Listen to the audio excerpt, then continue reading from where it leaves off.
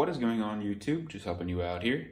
And in this video, I am going to be building the mission models contained in Bag 2 for the FLL Cargo Connect 2021-2022 game. Contained in this bag is the switch engine, and in order to successfully build it, all you need is this bag labeled number 2 right here. You do not need any of the parts in the unlabeled bags.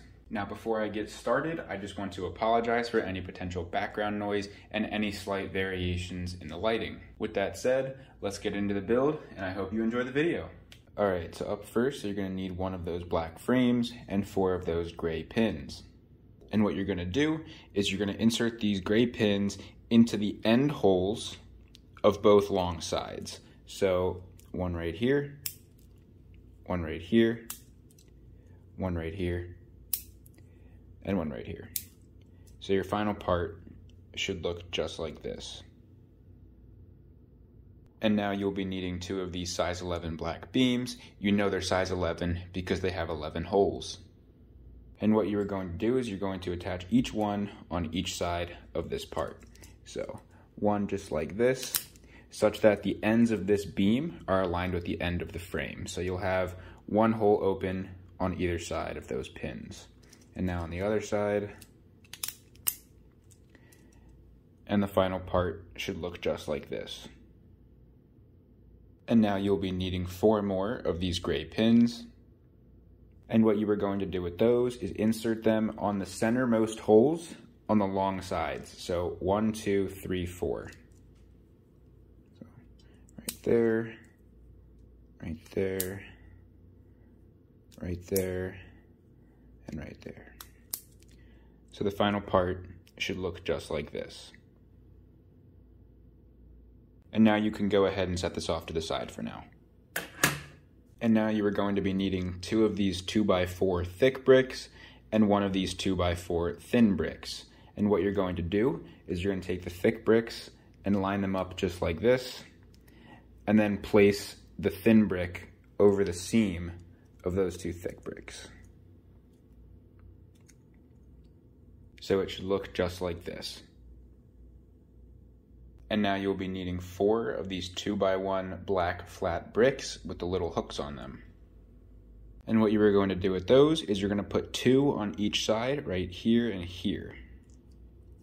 So one right there, one right there, one right there, and one right there. So the final part should look just like this. And now you'll be needing two of these yellow rods. And you are going to place those inside these hooks on either side. You just want to make sure that when you do this, the rod is roughly centered.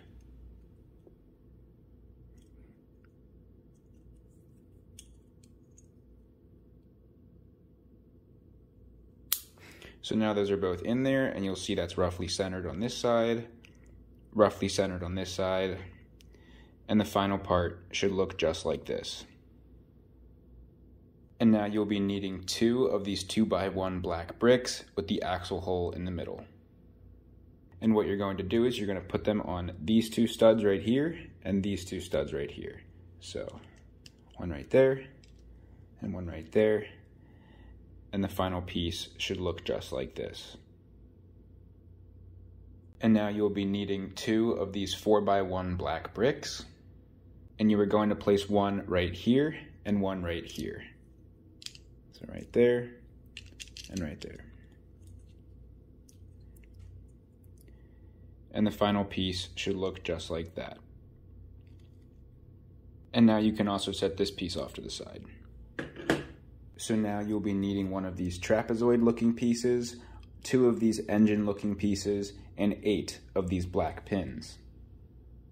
And now the first thing that you want to do is put four of these black pins in each of these engine looking pieces in the four beam holes. So one here, one here, one here, and one here.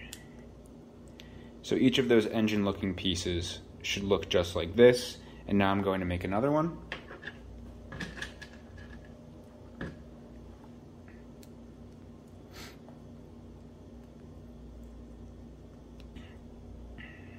So both of those should look just like this. And now what you want to do with these is you want to insert them onto these two holes and these two holes. And so what you're going to do is you're going to insert them just like this so that this square piece of the engine looking piece is facing that way. And then the other one will go right here.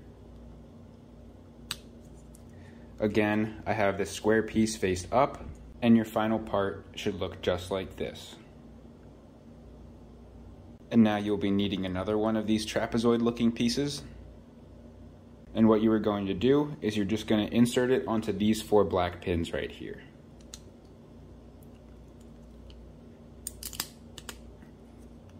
So your final piece should look just like this.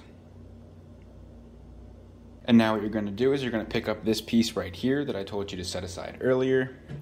And you're going to take that piece that looks like an engine and you're going to stick it on to this right here. Now, you need to make sure this is in the right orientation. So when I put this on, you want to make sure that these square pieces are on the same side as these yellow rods. And then the trapezoid frames should be facing in the same direction as these axle holes right here. And this is what the final piece should look like. And now for this next step, you want to flip this over 180 degrees, just like this. And now you'll be needing one of those two by four flat bricks and four of those smooth arched pieces. And now what you're going to do is you're going to put that flat brick over the seam of these two other bricks right here. So just like that. And then you are going to go ahead and place the arches in the four corners.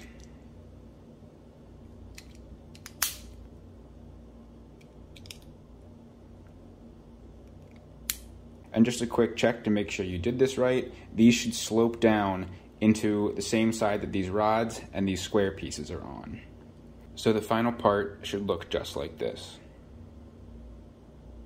And now you can go ahead and flip this over 180 degrees again. And now you are going to be needing one of those gray pinwheels and one of those white pieces that has a short pin and a long axle.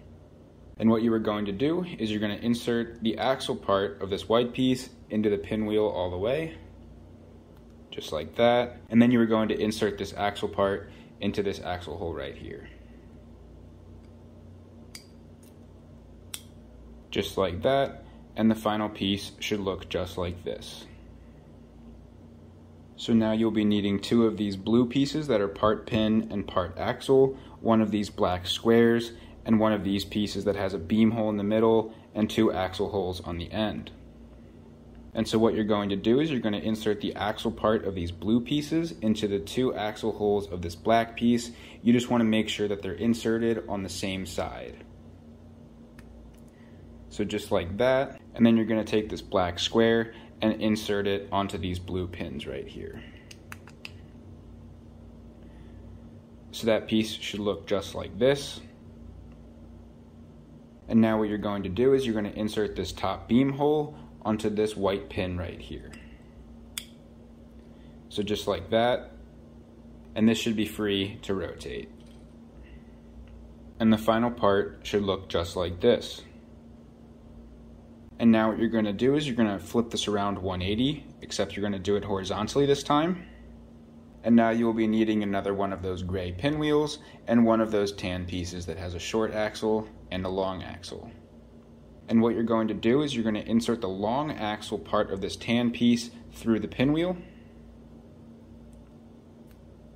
So it should look just like this. And then you're going to insert the long axle part of this tan piece into the axle hole right here.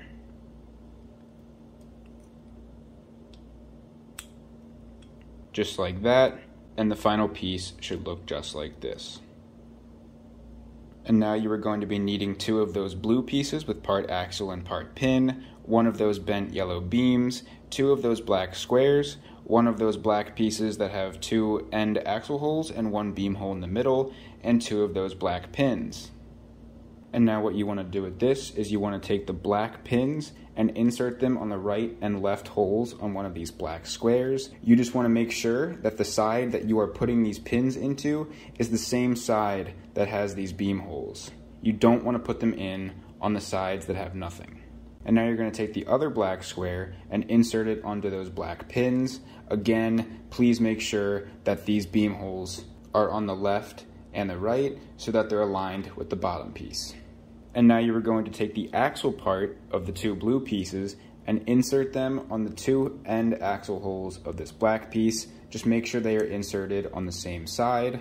So you should have a piece that looks like this. And then you're gonna insert those blue pins into the bottom set of beam holes on these squares. So your piece should look just like this. And now what you are going to do is you're going to take the top beam hole right here and put it onto this tan piece right here. Just make sure that when you do this, it is in this orientation and not this orientation. So just like this. And now you're going to take your bent yellow beam and you're going to insert this tan piece right here into this end hole right here. Again, you need to make sure your orientation is correct. It should be facing this way and this short piece of the bent beam should be facing down. So the final piece should look just like this. And now you can go ahead and pick up this piece that I told you to set aside way in the beginning. And what you're gonna go ahead and do is insert these four gray pins right here into the four holes right here. So these two, and then the inside two right here. So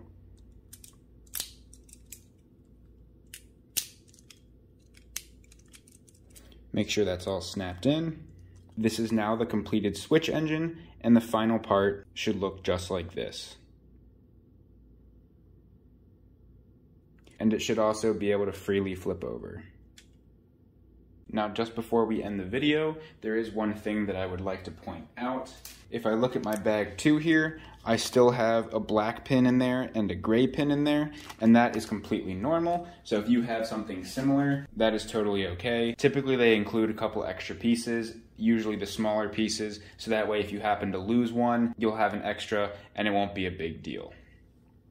Alright, so this is the final switch engine mission model, and that is what is contained in bag 2. So that's about it for this video. Feel free to check out all our other LEGO videos in the playlist in the top left corner. If you enjoyed this video, please drop a like, leave a comment if you have any questions or an idea for a future video, and lastly, please don't forget to subscribe and tell your friends about my channel so I can grow and help more of you guys out.